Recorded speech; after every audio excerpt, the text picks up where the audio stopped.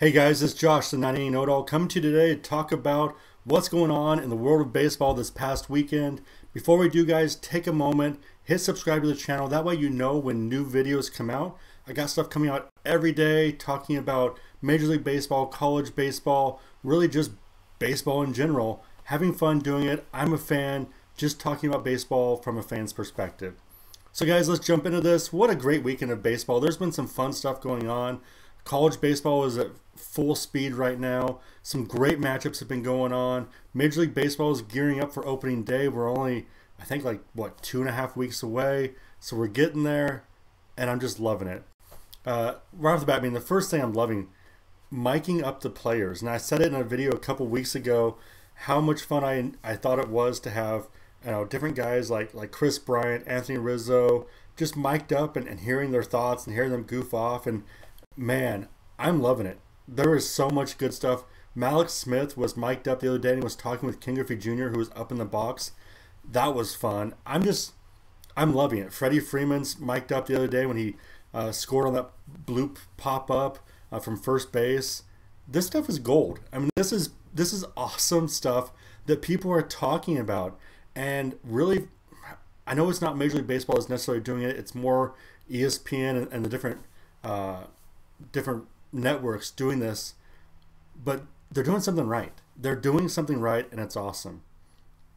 Guys, right off the bat, the first thing I saw this weekend that that I saw that was maybe one of my favorite things I've seen all year long is there was a, a kid, I think his name was Drew, and he was on the field for the Washington Nationals, just kind of near the dugout. He was a part of the Make a Wish Foundation, got to travel to spring training uh, for his wish, which is awesome. That's that's cool. When a seven year old wants to go to spring training, that's a true fan right there.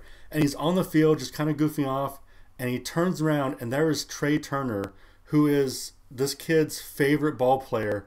And the look on the kid's face was just priceless. He was just in awe. He froze instantly. He saw his favorite ball player standing five feet away from him, looking at him.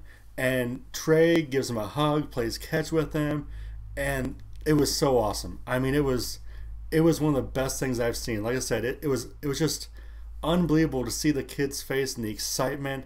And for that to happen on a baseball field you know what? You, you can't define how important baseball is to people.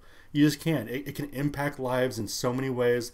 This was a perfect example for that. Know here's a kid once again Make-A-Wish Foundation, I'm, I'm, I'm willing to bet he's gone through a lot of hard days. You don't get to be in the Make-A-Wish Foundation because you have a perfect life. You get there because you've, you've struggled with disease or illness. And here's this kid for a moment that didn't matter. It was all about being on the field with his favorite player, and Trea did a great job. I mean, everything I saw was was just him interacting and being completely focused on that kid, and that's awesome. That is so awesome. So Trea Turner, to you, thank you very much. You know, that's that's what baseball is all about. That's what baseball players, you know, do a lot of times. There's a lot of players who do this type of stuff, but just keep it up. So also happening this weekend, Trevor Bauer hosts a branding seminar for his fellow players, and there was a lot of guys there. I saw some pictures of it, and I'll be honest, guys. You know, you've you've heard me say Trevor Bauer has become one of my favorite players. I, I love his honesty. Yes, he's kind of harsh at times, but at the same time, you know what he's thinking. He doesn't hold back. He's not going to lie to someone. He's not going to tell them what, what he want, what they think, what they want to hear. He's very honest, tells it like he sees it. And when it comes to branding, he's a guy who knows how to market himself. He does a good job of it. Uh, does a good job of marketing the people around him, the organizations. You know, I'll be honest he's probably one of the best to do it. Uh, you know, like there's better players. Mike Trout's a better player, but Mike Trout doesn't market himself or brand himself nearly as good as Trevor Bauer does. And if he did, you know, baseball might be a lot different if we had more guys like Bauer, not necessarily with their brashness or their harshness or their being vocal, but just how they brand themselves, being out there more for people to see. It could help baseball become more noticed in the eyes of the, the common fan and even the just the non-fan. Also going on this weekend, the Astros played some baseball, and every video I see makes me laugh a little harder just because of what's going on. You have you have a fan, a kid, I'm guessing probably 11, 10, 11, 12 with a sign out in the outfield that says fastball and he's running around with it. And he has I think he had another one that, that said changeup and and that was funny. The kid won the kid won the internet that day. I mean he really did. Then you had another fan who was sitting in one of the walkways next to a garbage can and every time the pitcher would get ready to pitch, he'd bang the garbage can, and you know it was just people were laughing. Uh, I think at the uh, Cleveland Indians uh, Colorado Rockies game, a pitcher slipped and, and, and, threw a ball, hit a batter, and someone in the, in the stands was like, "No, save that for the Astros." And I'm, this is not going away. I know a lot of people in the Astros organization were thinking that once they came out with their apology which was crap, that this would blow over. And it's the exact opposite. It's getting bigger. It's getting bigger every day, and the season hasn't started yet. So now you got the Twitter account, the you know, the the asterisks, and the, their shame tour, the Astros shame tour. Uh, I follow that one. Some hilarious videos going on. So this is not going away. I know all you Astros fans who thought it would go away. It's not going to.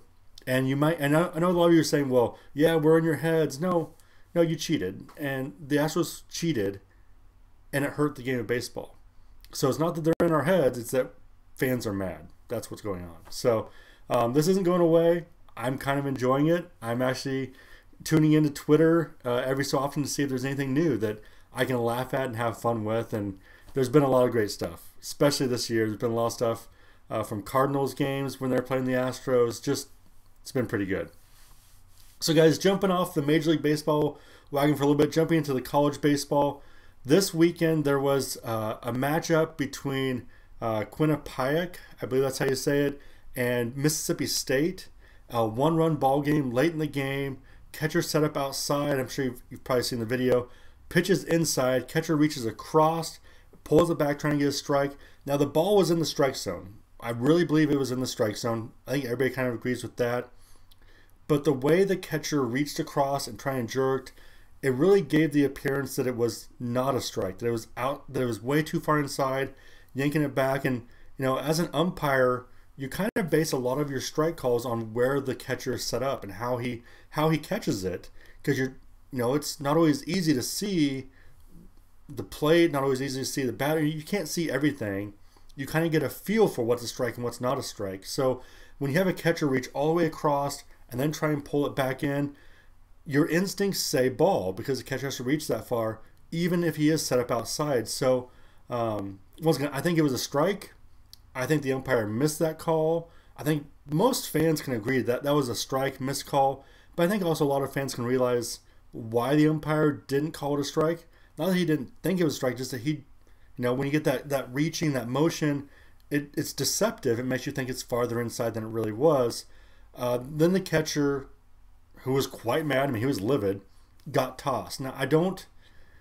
This one's tough for me because I understand why the catcher was mad, and I understand why the umpire called it a ball. And I think the catcher at some point crossed the line and got tossed because the umpire gave him a, a, few seconds to let him vent. He, when the when the catcher was mad, the umpire did not ring him up right off the bat. He let him be be angry. He let him say stuff. He let him do stuff. It wasn't until five seconds, six seconds into the thing that that's when he tossed him. And so I understand both sides. It's not an easy thing. Uh, it sucks, but at the same time, as a catcher, you have to realize if you're reaching that far across your body, it's a hard thing to get a strike called unless that ball is dead center. Um, it's going to be a tough call for an umpire. So I get both sides. Don't agree with the umpire's call. Don't agree with necessarily the catcher's reaction all the way. I have no problem with him being frustrated, being angry, but he, I think he clearly crossed the line after a while because he was given the right to vent his frustrations initially, and then he kept going. So, is what it is. Um, you know, it's never fun. I know a lot of pitchers are saying that if their catcher stands up for them like that, they play with them all day, every day, and that's that's true. I mean, you want a teammate who's going to give him give everything he has to help you the you know the best he can. So Uh, looking at the rankings, I know University of Florida number one, they're undefeated. That Florida's had some great teams in the last few years. Really dominant players coming out. Uh, not all those players turn into great major league players, but still, there's been a lot of great talent out of Florida. They're gonna be they're gonna be tough. I know UCLA jumped up. Uh, to, I think they're number four, number five, right around there. So, loving it, loving it. College baseball is going. I've been watching stuff on ESPN Plus because uh, I have that part of my part of my Disney Plus package. Man, it's so nice to be able to turn on a college game and just sit back and relax and just enjoy it. Monday through Friday, Saturdays and Sundays, I'm usually at NWAC games, so uh, it's been fun. Last thing I want to do is talk about Dallas Baptist. Uh, they're in the top 25, got a great team, but one of their players, Andre Sosa, got hurt. I, I don't think it was this week. I think it's been a few days, a couple weeks since he got hurt. Uh, but he's actually played here in Longview two years with the Cowlitz Black Bears, a college woodbat summer league team. Great guy. Interviewed him a couple years ago. He's he's very quiet, very humble, but at the same time, he is one of the most competitive people I've seen on the field. Super talented. I know this year Dallas Baptist was working him as a catcher, uh, but really Sosa's been a third baseman, a second baseman, a first baseman. He plays wherever he's needed. Very talented guy, a guy who could have been drafted this year, but now with the injury, he's got his uh, medical red shirt for this year because he only played in five games. So he'll be back next year. But I think he's a guy with his bat could be drafted. I really do. He's got a, a strong bat. He's got a when that ball hits, it it pops off pretty hard. He hits pretty hard. So shouting out to Andrew Sosa. Get well soon. Uh, have a good recovery. See you next year playing for Dallas Baptist. So guys, with that, that's your baseball recap for the weekend. A lot of great stuff. We're getting closer to opening day. I had a great fantasy draft for my keeper league on, on Saturday night. Got a pretty good team. I think I might have a chance to win this league. Um, you know what? Have to see how injuries happen. And I've got Justin Verlander on my team, so I need to trade him.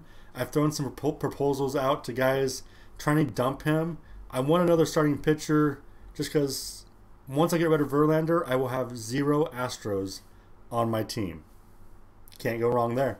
So, guys, I'm Josh, the Now You Know It All. Thanks for tuning in. Thanks for taking the time to listen. Guys, once again, subscribe. Got videos coming out every day, lots of fun stuff. Just talking baseball. See you guys later.